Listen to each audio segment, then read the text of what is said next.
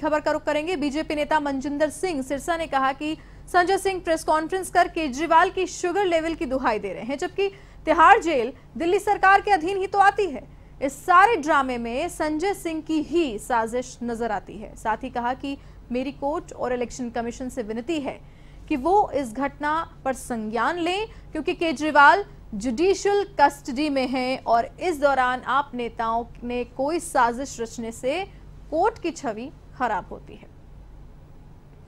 ने जो press conference करके बताया अरविंद केजरीवाल जी की इंसुलिन और शुगर लेवल्स के बारे में, ऐसे लग रहा है कि संजय सिंह जी को जानबूझकर शरारत कर रहे हैं।